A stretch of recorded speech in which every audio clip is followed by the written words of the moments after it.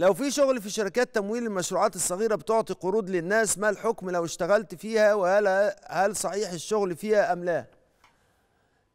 الشركات اللي بتعطي آه تمويل المشروعات الصغيرة ومتناهية الصغر ما ينفعش تعمل ده إلا بتصريح والتصريح دوت بيكون تحت عنوان التمويل وليس تحت عنوان القروض. يعني هي بتدي بتعطي تمويلات للمشروعات. حتى لو اتسمت قروض فهي ليست قروضا هي تمويلات. والتمويل عبارة عن إيه؟ إن حد بيدفع ماله لصاحب مشروع لكي يكون وكأنه مشارك له في هذا المشروع وليس هذا من قبيل الشركة. ولكن أعطاه هذا المال ليدوره في صناعته أو يدوره في تجارته أو يدور أو أو يديره في زراعته.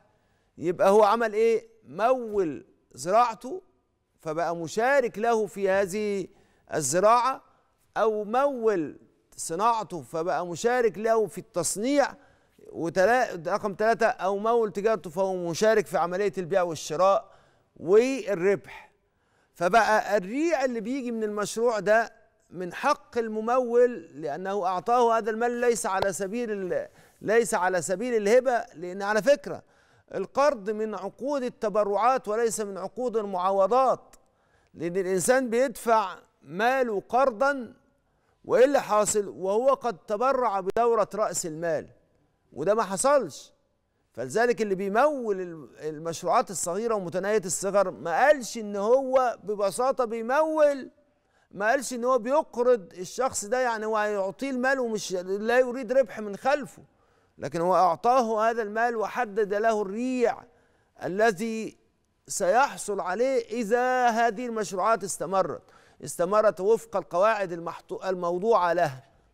يبقى إذا بما إنه أخذ منه دراسة جدوى وبما إنه كمان آه بعد ما خد منه دراسة جدوى نظر في المشروع ونظر في دراسة السوق لهذا المشروع ما دام هو شاف منه ده فهو لو أنه بيقرضه مش من حقه أنه يطلب منه دراسة جدوى.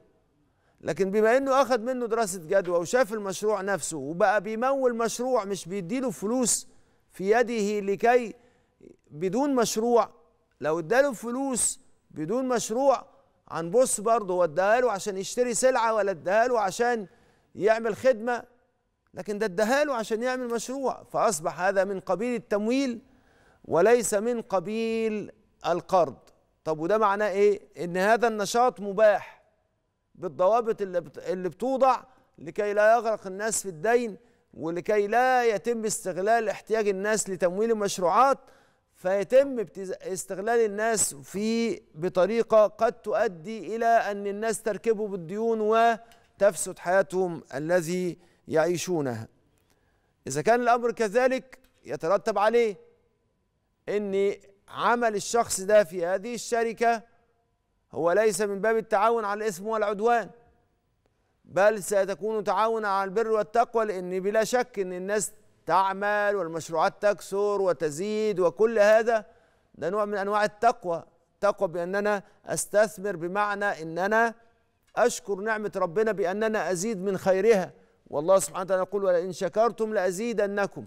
يبقى هذا من قبيل التعاون على البر والتقوى وليس التعاون على الإثم والعدوان.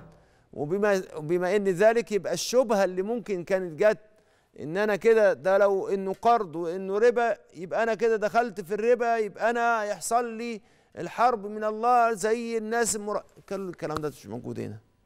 كل الكلام ده مش موجود في هذه المسألة. المسألة أن عملك في الشركات التي تمول المشروعات الصغيرة ومتناهية الصغر لا يدخل في التعاون على الإثم والعدوان ولكنه هو نوع من أنواع الكسب الحلال.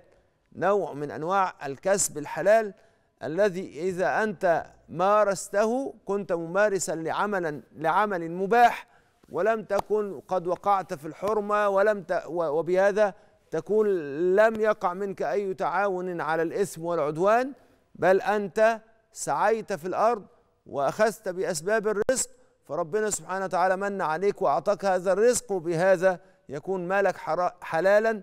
هذا المال الحلال يجوز أن أنت تحج به يجوز أن أنت تتزوج به. كل هذا المال مال حلال يجوز أن أنت تطعمه لأولادك. ولما تطعمه لأولادك ما فيش بقى شبهة إن هو إيه كل جسد نبت من سحت فالنار أولى به ابدا. طب أنا بقول التفاصيل دي كده ليه؟ لأن أنا حاسس إن الكلام عن المسألة دي ممكن يكون لمس شيء من الوسواس أو شيء من التشكك اللي موجود عند صاحب السؤال ده. فعشان كده برد على جملة من الشبهات اللي ممكن تأتيه وتخليه يحس بإن المال ده حرام وإن هو لو أن هو استثمر هذا المال في حياته قد يفسد عليه حياته. يا سادة إحنا لازم نحذر إن إحنا نسمع من كلام الناس ونسمع من فتاوى الناس لكن لازم نسمع الفتاوى اللي بينطبق عليها قوله تعالى فاسألوا أهل الذكر إن كنتم لا تعلمون. هذه هذا نوع من أنواع التمويل وليس نوعا من أنواع القرض. وبما أن هذا ليس نوعا من أنواع القرض فلا ينطبق عليه قاعدة كل قرض جر نفعا فهو ربا. هذا ليس من قبيل القرض ولكن من قبيل ماذا؟ من قبيل التمويل وهو عقد جديد من فوق العقود الخمسة وعشرين التي جاءت في الفقه. فذلك هو عقد صحيح وليس فيه أي نوع من أنواع شبهة الربا. وعلى ذلك يجوز أن أنت تعمل فيه ويكون مالك حلالا ويجوز أن تطعم به أولادك ويجوز أن تسافر به إلى الحج ويجعل الله سبحانه وتعالى لك حياة سعيدة كريمة إن شاء الله.